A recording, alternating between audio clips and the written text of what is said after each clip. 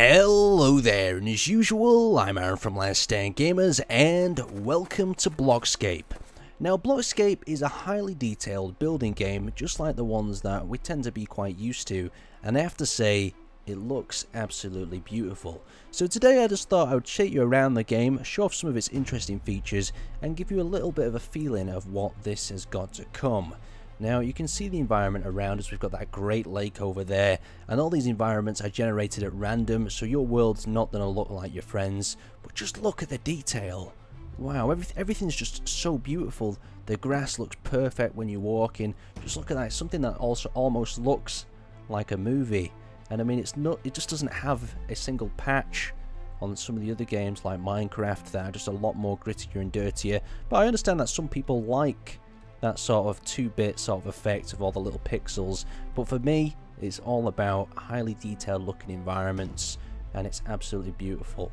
Anyway, enough of the beauty, let's actually have a look at some of the building and construction. So we can head through here. We've got a castle that's already been pre-constructed and it's been abandoned. You can see all we've got all this beautiful sort of moss greenery growing up around it.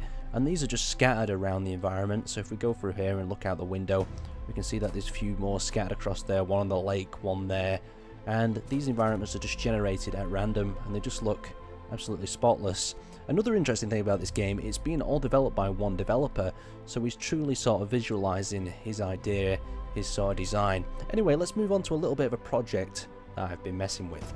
So I would like to welcome you to my little project. Now this is my small log cabin that's located in the forest here. You can see that the sun's coming up around it and it's soon going to be daytime, something basically I can call home.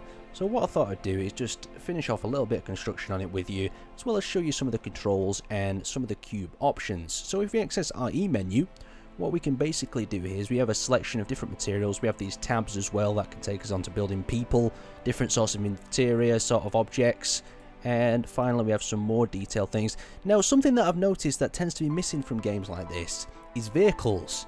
I mean, being able to get into something and actually drive it, fly it, or use it is just such a big reward that Space Engineers tends to have. Anyway, let's continue on. So the first thing I'm going to do here is show you the sculpting option. So as you can see on the roof here, I've managed to place this snow on the top, made it look absolutely beautiful in my opinion. Just to have the ability to place things like this without it actually conforming to a block is just really nice. So we're going to drag our sculpt option. And on this tab here, we have different sorts of materials. We have man-made materials here and on this tab we have different sorts of natural so we've got snow and what we're going to do is do some sculpting with that snow. So with the mouse wheel we can change the size of our brush and we're just going to add a little bit of snow onto the end of the house here like that.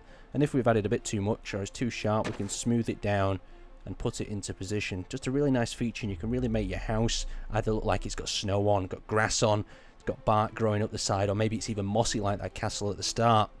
Anyway let's fit some windows to this house because that's what I think it really needs. So let's grab our cube block. And now once again, with our cube block, by selecting that, we can actually mouse wheel and select different areas. And we're going to cut up a nice window, sort of window ledge here. So it's probably going to be about that level. And that looks about good. So let's enlarge the brush and probably just cut that there and that there.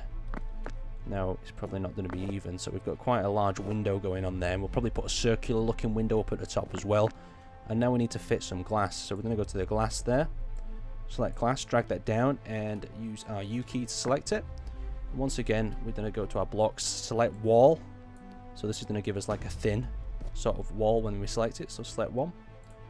And we can actually place this in across with glass selected and it'll connect itself up. Just It's just really fun building with this sort of high level of detail as well as a, such a selection of different blocks. But that doesn't look right. We're going to need to probably change the actual outside of that as well. We'll go with some slope blocks. So let's pick a slope and let's pick a nice oaky sort of pine wood. That's an oaky pine wood sort of effect. And let's place some here, shall we? A bit of an extension coming out from the window, give it a bit of a window ledge. And that could look just really nice. We've got some snow blocking it there, we'll have to take that off. And cut that back away with the opposite mouse button. We can just place that across and we can build ourselves a nice little window ledge upon there. We've got some doors and windows to add as well. So the log cabin has been changed a little bit. We've added some more windows in. We've got a circular window up here. We also have now a door, so we can actually go inside. But we do have some problems inside. The snow seems to be leaking within to my roof, so that's something I'm going to have to repair. And we've also got a few things that need patching up, i.e. holes in the roof. But this game itself is absolutely beautiful. The challenge of building and just playing in an environment that looks like this, it just really kicks it up a notch. And for players that me, like me, that don't really like to be looking at low detailed sort of texture environments while you're building, you want to build something really detailed, this is probably the game for you and it's still in early stages at the moment but whatever this is going to end up like it's going to really make a difference. And it's going to be something that I'm going to really enjoy playing.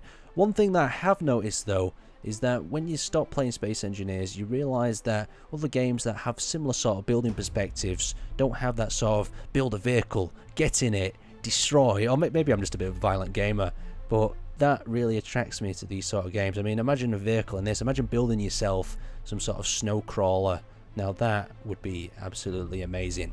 Anyway, I'd like to thank you guys for watching, and I'll see you next time.